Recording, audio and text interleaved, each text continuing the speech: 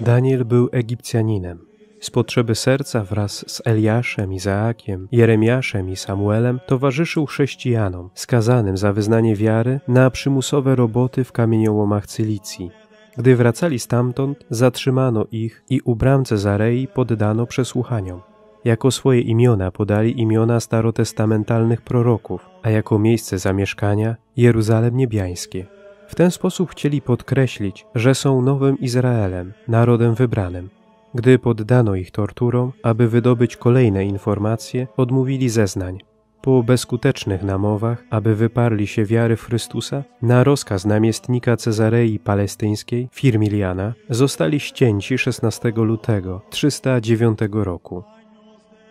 Módlmy się, Wszechmogący Wieczny Boże, z Twoją pomocą święty Daniel aż do śmierci walczył w obronie wiary. Spraw za jego wstawiennictwem, abyśmy z miłości ku Tobie cierpliwie znosili wszelkie przeciwności i ze wszystkich sił dążyli do Ciebie, bo Ty jesteś prawdziwym życiem. Przez naszego Pana Jezusa Chrystusa, Twojego Syna, który z Tobą żyje i króluje w jedności Ducha Świętego, Bóg przez wszystkie wieki wieków. Amen.